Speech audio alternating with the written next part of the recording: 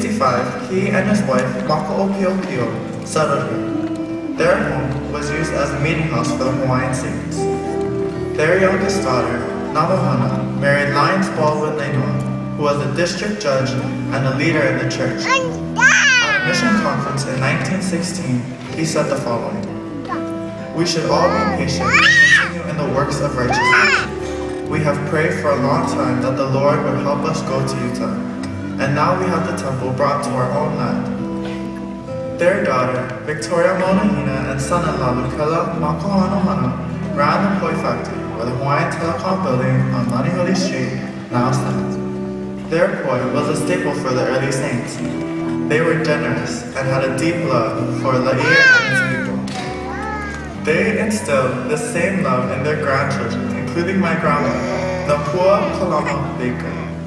Like her ancestors, she loves her work here in Laie, at BYU, PCC, at the Family History Center, but especially in the temple. I now invite her on stage to be recognized. She is one of the oldest living family members in the Ko'ohimo Numai. I thank her and all who came before her for the service and sacrifices they made. I am here because of their faith